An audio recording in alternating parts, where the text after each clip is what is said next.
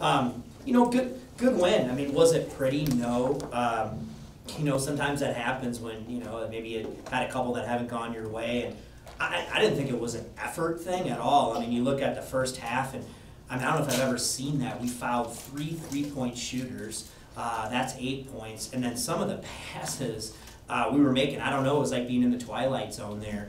Uh, um, for a second, and, and, that really hasn't been us all year. And I, I don't know what that was from. Again, I, I don't think that was a um, a lack of intensity. I mean, our primary focus was, I thought, defense and practice, but I thought the guys played pretty hard. But then what happens is you foul three point shooters, um, you turn it over live ball, and all of a sudden, guys get hot from the free throw line, get a little bit of confidence, and now you got a real problem on your hands. You know, and a guy like Seneca Knight, who's been scoring at a high level, you know, he gets going and he made some tough shots, obviously in the in the first half, a lot of shots off the dribble, but that's what he can do, and you know, so I thought that allowed them to have some confidence was. But I, I, I thought, you know, we, we went in there at halftime. We talked about, hey, we've got a little bit of adversity. We tried to learn from it, build on it. And I thought, you know, I look at the stats. I mean, clearly I thought our half-court defense in the second half was good.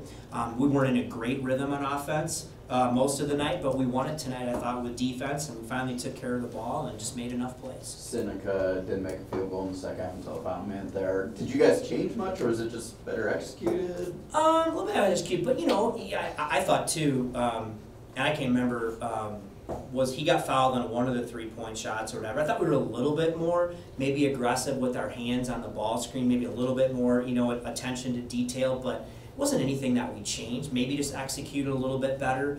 Um, but you know, sometimes you make tough shots, and eventually, you know, you don't keep making tough shots either. But but I, I, thought our team defense all the way around was a little bit more connected, you know, in the second half, and so I was happy to see us win the game that way because clearly that's what it was going to be tonight. You know, we just couldn't string. I thought we missed a lot of bunnies in the paint, a lot of opportunities where we had to kind of make a run and, and stretch it a little bit, and we just couldn't do it. And you got to give that team credit. In both halves, uh, seemed like the bench, especially Dischon, came in and played you know, pretty well and kind of sparked you guys and sort of in a little funk. And what did you see from Dischon especially? Yeah, I mean, I thought Dischon was really good enough, but I, I thought when we subbed the, in the first the first time we put the bench in, I thought those guys played with really good energy, especially on defense. I mean, I thought those guys were really playing hard, and and that's what we want to see. It wasn't perfect, but I thought they played hard.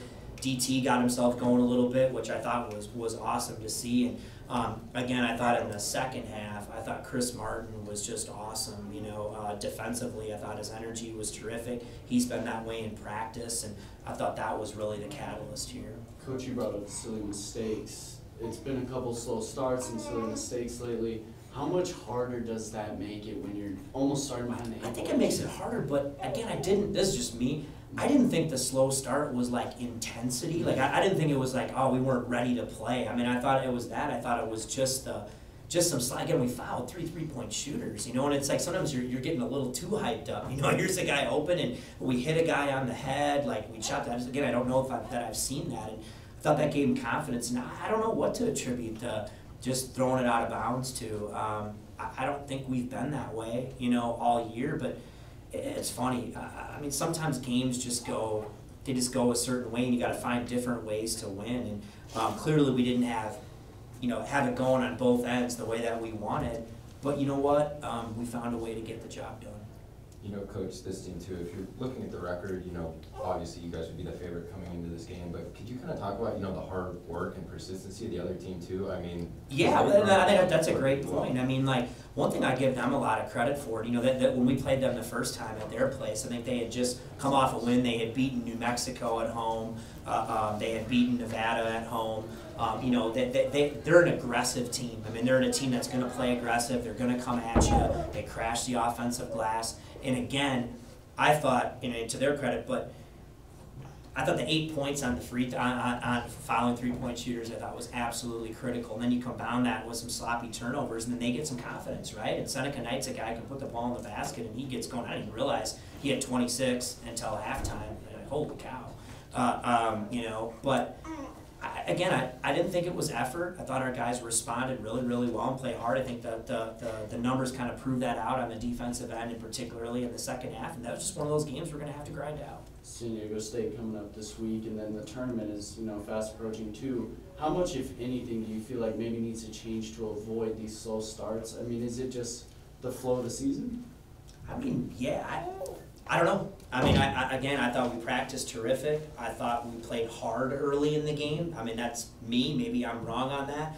Um, if I look back on, on the play, I don't know what it was. We run a play, first play of the game. I thought David just kind of lost the ball going up. You know what I mean? A layup, and you're like, that's a play he's going to make nine times out of ten. Thought we had some other plays that way where we just, do you know what I mean? For whatever reason, without a sync, but I didn't think it was attention to focus, and again, we fouled the three point shooter. But you're right. Hopefully, you got to start better. You got to play for 40 minutes.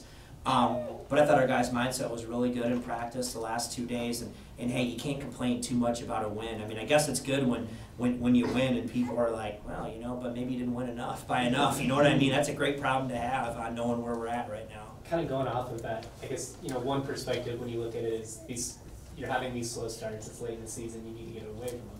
The other, you know, the other side would be, you had these slow starts, but still found a way to win the game. That's what you have to do in the postseason, is that encouraging to you? I think so. At the end of the day, the games are 40 minutes. Um, there's going to be runs both ways. You know, that's the way that it is, and that's basketball. And I prefer to start better. You know, I prefer to play from the lead. I prefer to, you know, execute on both ends of the floor. But I feel like we will. I mean, whether it's a trend or, or, or not. Um, again, I thought our guys' mindset was really good in, in practice today. And, you know, I, I, I don't know that that's this is a position for us right now, playing meaningful games in February. That's new. You know, it's new. It's new for some of these guys. It's the first time they've ever been through a season that's this long, and and you know, you're you're you're kind of the hunted now, right? You're you're towards the top uh, um, of the standings, and but like we told our guys the other day, you know, a lion, right? He might be king of the jungle, but what does a lion do when he wakes up every day? He hunts. Do you know what I mean? And the second that you back up and, and, and, you're not hunting, you know, you're not hunting and continue to get after it, things happen. And this is a competitive deal. Um, I love our guys, and you know, hopefully, I feel really good about finding a way to get a win today, and um, and at least enjoy it here tonight. And then we know what's uh, in store for us Tuesday. I think you'd probably rather get them at home, but number four is Diego State on Tuesday night. Is this a kind of a perfect test right before you have to go and you know play some important road games or neutral games? Yeah, I mean, I think uh, um, I like him back. I mean, I know we, we didn't go to the Viejas last year. Uh, I love playing there. I think it's great. It's a great college basketball environment. Uh, we've played in a few others this year, you know, namely our first road game of the year. You know, we played at Duke. I would anticipate uh, a similar environment. It's their senior night. I mean, you got all, all of it, right? Going against you, sellout arena, their senior night. I don't know. I think they play tonight. Obviously, if they're fortunate enough to win tonight, they'll be undefeated. Awesome. Who wouldn't want that? Who wouldn't want to have an opportunity to go in there and, and, and compete? But clearly, at somebody, if you want to win a conference tournament, somebody's going to have to get through San Diego State, you know, to do it. And so we get a crack at them here on Tuesday.